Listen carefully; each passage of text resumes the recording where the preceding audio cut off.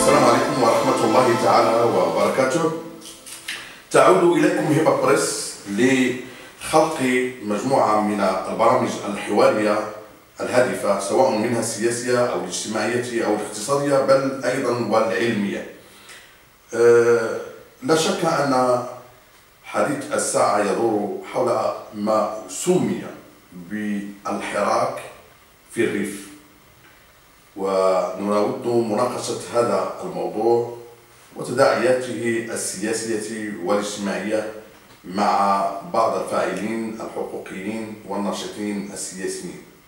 فمن يقف حقيقة وراء هذه الاحتجاجات التي سميت بالحراك في الريف؟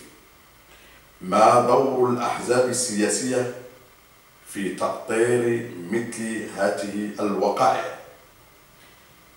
ثم كيفية استغلال مواقع التواصل الاجتماعي من أجل التجييش وتجنيد ما من شأنه تعزيز مثل هذه الاحتجاجات وكيفية علاجها. آليات الحوار المثلى من أجل صد مثل هذه الأوضاع وإيجاد الحلول الناجعة ثم من يركب على متن مثل هذه الأحداث سيما من بعض الجهات السياسية من أجل البروز وذاك البروز يكون أجوف. حول هذا الموضوع نستضيف الأستاذ فيصل أمرزوق محامي بهيئة الرباط فاعل سياسي وناشط حقوقي. إذا أستاذي المحترم فيصل أمرزوق الناشط السياسي والمحامي بهيئة الرباط نود تسليط نوع من الضوء عن هذا الذي سمي بالحراك في الريف. جدواه الهدف منه وتداعياته ومن يقف حقيقة وراءه. بكل استغراب إحنا تنستغربوا تنتفاجئوا على الاحتجاجات أو ما يدعى بالحراك اللي تتعرفوا مدينة الحسيمه مدينة الحسيمه هي مدينة آه، عادية بحال بحال جميع المدن المغربية تعم بالأمن بالاستقرار والأهل ديالها تيحظوا بالحياة العادية والحياة الكريمة آه، شأنها شأن باقي مدن المملكة. هاد الناس هادو تيقولوا ان لهم مطالب اجتماعية. آه، والحال ان ان السلطات بما فيها وزير الداخلية في رحلات مكوكية من من من العاصمة الرباط للحسيمه ذهاب إياب لا سي وزير السيد وزير الداخلية الحالي أم السلف ديالو. والدليل على ذلك من جهة أخرى هو أن السيد الوالي ديال المنطقة السيد اليعقوبي جالس تما في المنطقة يشرف على هذا الوضع هذا. في حوار دائم مع الساكنة ديال المنطقة حسب ما ما يصلنا من المواقع الإخبارية. اللي طبعا تنتسائلوا نتساءل هاد الناس هادو شنو باغيين؟ هل يعتقدون أن مدينة الحسيمة هي لهم؟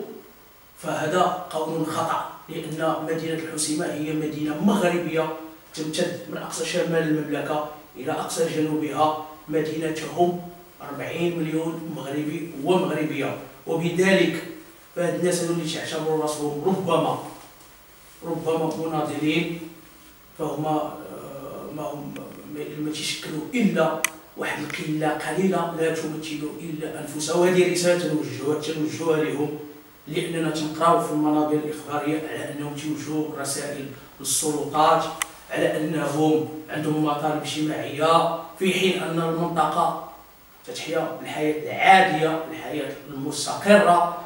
مدينة اللي هي ديالنا. حنا 40 مليون مغربي ومغربية. تمشوا رسالة أنكم ما ماشي غتكونوا في مواجهه مع السلطات في حالة داك داك الأهداف اللي نتوما عندكم. حنا اذا كنا غادي نمشيو في إطار مطالب اجتماعية. فحنايا ما تن ما تنعرضوش لأن المطالب والحقوق شيء ما تن ما تن ما تنتعرضوش فيه. لكن إن تكون واحد الاحتجاجات من أجل لا شيء أو اللي هو المصير ديالها مجهول فهذا شيء حنا ما غاديش نسكتوا عليه كمغاربه وكما وكمواطنين مسؤولين ومعنيين بالدفاع على هذا الوطن وعلى هذه البلاد وعلى الثوابت والمقدسات ديالها. وحنا يؤلمنا كثيرا حين نلاحظ حمل علم ليس بالعلم المغربي.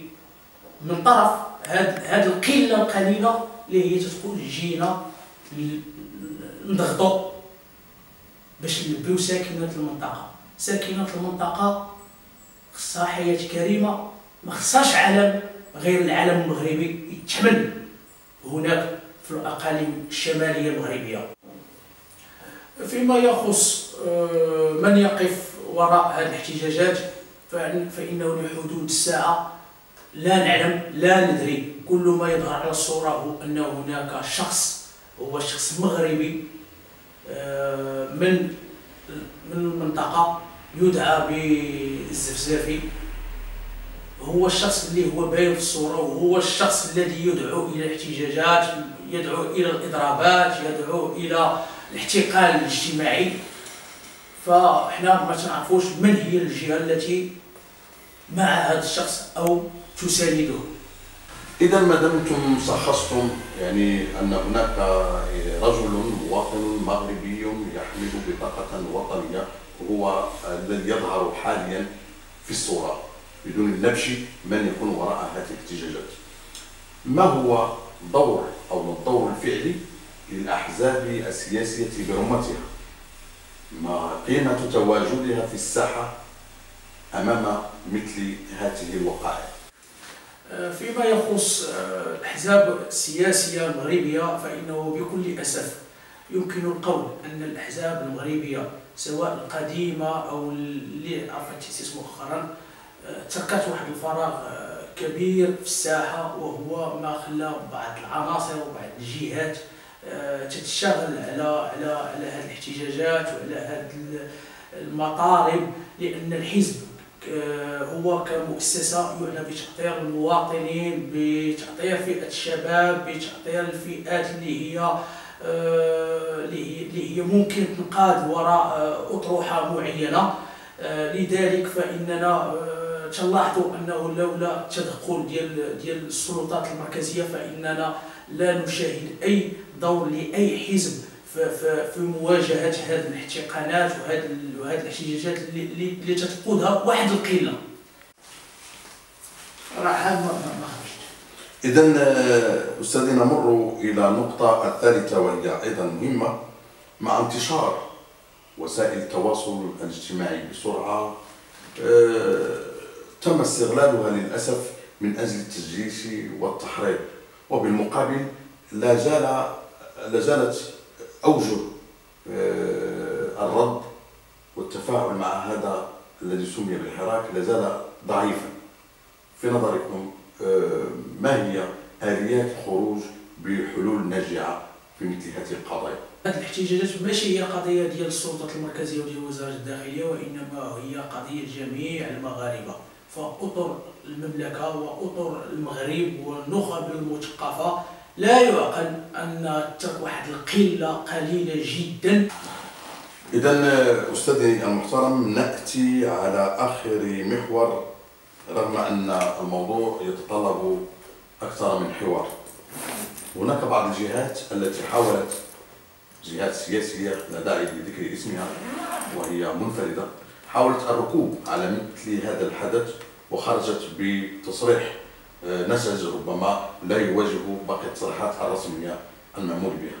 رأيكم في مثل هذه النعرات التي تؤجج من الوضع؟ آه، بكل صراحة فيما يخص هذه الأصوات هذه ما يمكن القول عنه هو أنها أصوات آه، لا يمكن وصفها إلا بالأصوات النشاز. بكل صدق بكل صراحة. لأن المصلحة الوطنية هي شيء واضح. والمصلحة الوطنية آه، فين كاينة وفين كيفاش ممكن تحقق؟ راه كاينة الطرق ديالها.